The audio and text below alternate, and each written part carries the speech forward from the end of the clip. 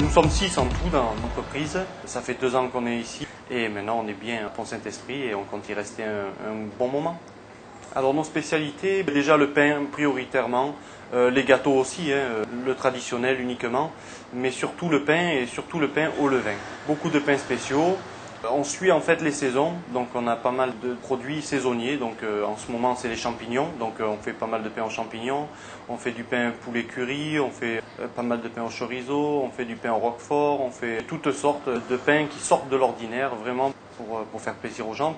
Ben, les clients, en fait, euh, ils sont étonnés au début parce que c'est vrai qu'on le trouve rarement. Donc, euh, ils n'osent pas. Donc, il faut beaucoup trancher, beaucoup faire goûter, passer l'information.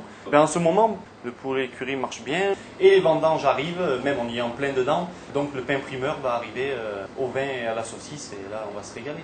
On fera d'une autre forme cette année, on le fera en ficelle pour manger rapidement, pour croquer dans la voiture, en marchant dans la rue, quelque chose qui soit accessible et qui fasse plaisir. C'est tout à base donc de tradition française et puis il y a plutôt une recette en fait après de cuisson des champignons pour faire ressortir le goût. Euh, autrement, la cuisson au niveau du pain, pas plus que, que les autres, mais c'est surtout une attention au niveau de la préparation. Quoi.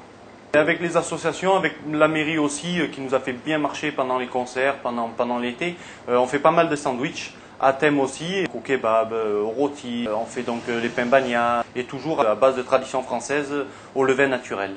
N'importe qui, n'importe quelle heure peut venir euh, chercher un sandwich chez nous. On a toujours une gamme en fait au magasin et puis après, ben, s'il en manque, on en fait à, demande, ainsi que la cuisson du pain.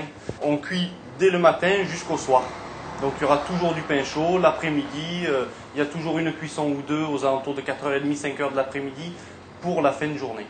On fait des livraisons aussi, bien sûr, toute la semaine euh, et puis euh, on livre aussi le dimanche. Nous avons des projets d'agrandir le magasin, de faire un magasin plus moderne, plus accessible aux clients, faire comme un arrêt minute, voilà, que les gens viennent se garer, prennent leur pain et repartent sans problème, euh, en espérant aussi au niveau de la mairie qu'ils nous feront un geste pour, se garer. Et puis après, une belle devanture. Euh,